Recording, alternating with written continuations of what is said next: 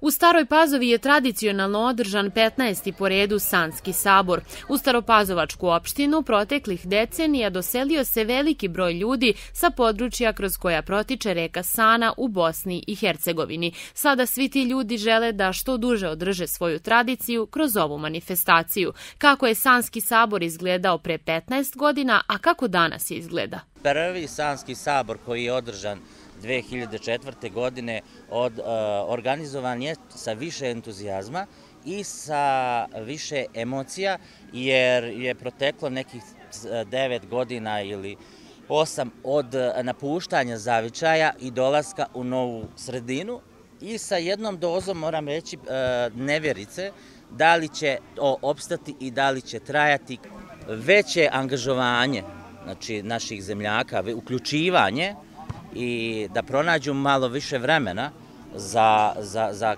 to, za taj sabor i naše prelobi, još proširilo uh, veći broj, uh, da kažem, i aktivnosti i akcija na samom saboru.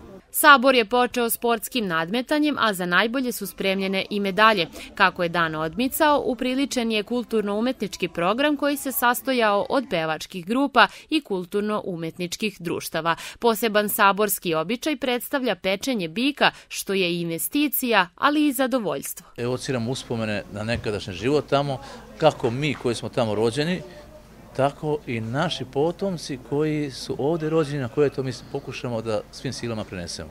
Najdraže mi je kada se okupe dosta mladih ljudi koje to zanima. Znači da ima svrhe ovo čime se bavimo.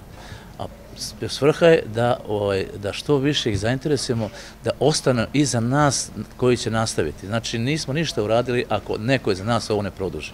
Organizator Sanskog sabora je udruženje građana Sana uz podršku opštine Stara Pazova koje od samog početka pomaže realizaciju manifestacije.